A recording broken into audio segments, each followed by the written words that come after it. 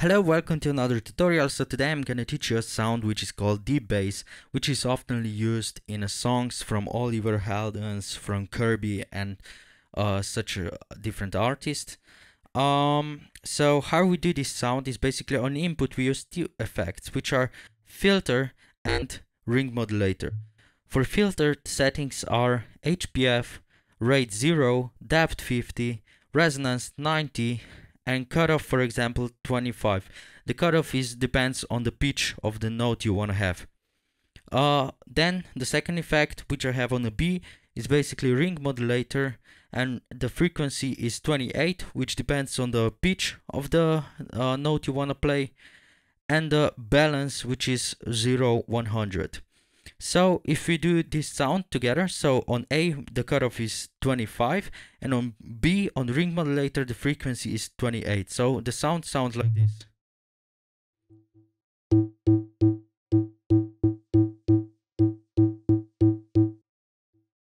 Okay, sounds pretty cool, but if you want to do a different note, we need to uh, use different settings. For filter, for example, we can have 12 and 16 and we're gonna go one octave lower.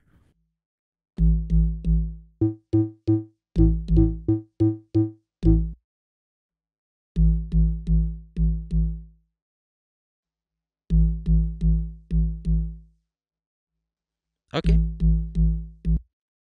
So for example the other different notes you can find the uh, in between those ranges to play it for example we can also also have like for example 20 on cutoff cutoff on cutoff and a ring modulator we can have for example 24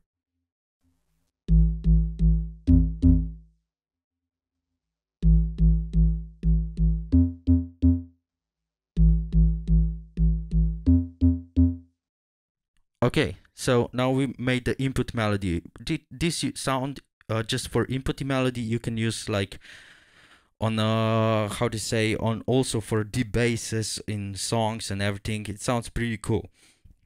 Uh, but uh, you're probably wondering how to make this sound quicker. Basically uh, what I do I use assignations. Uh, where I use the switch which I turned uh, which is the four time memory. And then you can for example set up input FX knob to moment and then we can also set up let's say input a control. And we set up for example minimum 12 and max we're gonna set up for example 25 and this way we when we're gonna turn the input knob it's gonna quickly switch from 12 to 25 um okay but what we what we have on track effects is basically the uh, vocal distortion and reverb. So uh, settings for vocal distortion are basically uh, distortion is 74 tone is minus 25 and level depends on the what level of the um, sound you want to have. For example let's go with the 46 and for reverb uh, I use the normal the default time for the reverb which is uh, 2.8 seconds. And the ease level is 71 and the uh, D level is basically 100. So how the sounds sound look the sound uh, the sound sounds like uh, when we apply the track effects.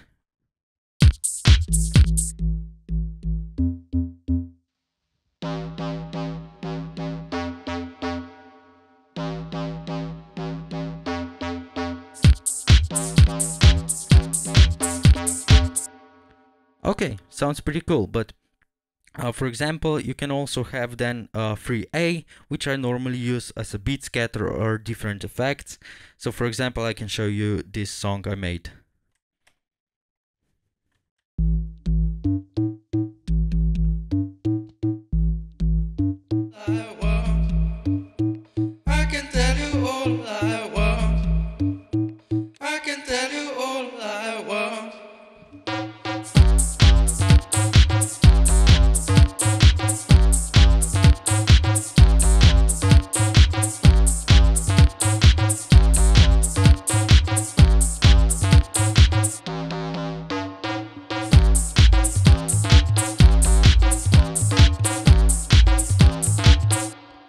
This way, I have two melodies from just one.